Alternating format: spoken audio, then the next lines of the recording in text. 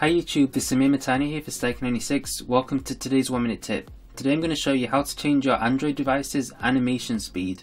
So let's go. First head to your settings from your notification center. If you don't have developer options here, click this video's card or find it in the description.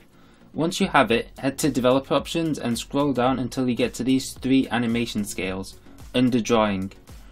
Change them to your liking Window controls the speed of elements such as menus in your apps and the speed of entering your app from the lock screen. Transition controls the speed of opening, closing and moving between apps. Animator controls the speed of actions on your launcher. After you do that, restart your phone. That's about it, your animation speed should now be super fast or super slow. Be sure to give this video a like if you liked it, be sure to subscribe to see more daily 1 minute tips, and be sure to comment if you have anything to ask me down below the description box. So that's about it. I'll see you in the next video and bye.